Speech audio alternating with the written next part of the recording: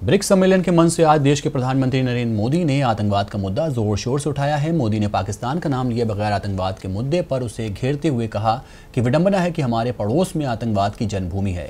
हमारी समृद्धि के लिए आतंकवाद सबसे गंभीर खतरा है। कुछ देश न सिर्फ़ आतंकियों को बना देते हैं, बल्कि आतंकी मानसिकता भी पालते हैं। मोदी ने ब्रिक्स देशों से अपील की है कि वह सभी आतंकवाद के खिलाफ एकजुट हो जाएँ।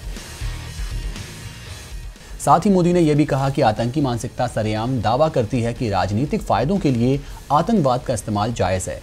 हम इस मानसिकता की कड़े शब्दों में निंदा करते हैं।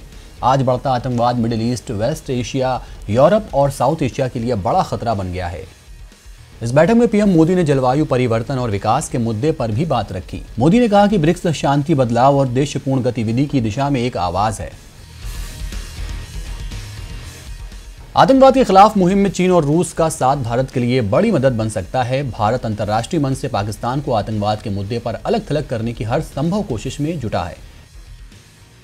आतंकवाद के खिलाफ मुहिम में चीन और रूस का साथ भारत के लिए बड़ी मदद बन सकता है। भारत अंतर्राष्ट्रीय मंच से पाकिस्तान को आतंकवाद के मुद्दे पर अलग थलग करने की हर संभव कोशिश में जुटा है।